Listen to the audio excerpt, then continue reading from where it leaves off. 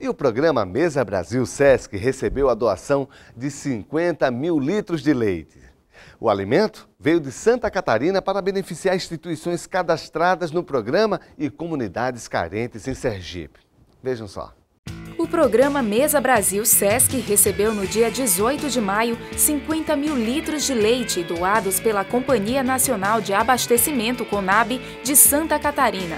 A doação beneficia 150 instituições cadastradas no programa, incluindo comunidades carentes, a Pastoral da Criança e a Rota Solidária Sesc do Sertão, que atende a população em situação de vulnerabilidade no sertão sergipano.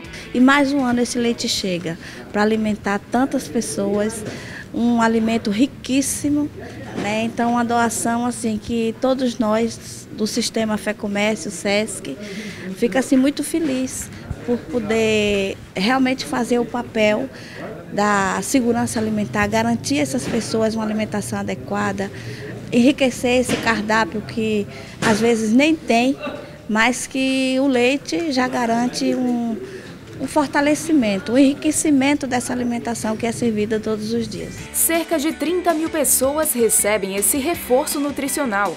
A nutricionista Joyce Pimentel ressalta os benefícios proporcionados pelo leite.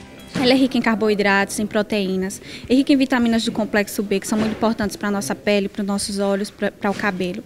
E, além disso, é rica em minerais é, como o cálcio e o fósforo, que são nutrientes importantíssimos é, para a manutenção e construção dos nossos ossos e dentes. Então, vai ser um alimento que vai ser muito bem aproveitado pelas crianças que estão em fase de crescimento, pelos adolescentes que também estão em fase de, de crescimento e, pelos idosos, e também pelos idosos, porque é um público que tem é, uma redução da massa, da massa óssea e o leite ele vai contribuir reduzindo essa perda da massa óssea.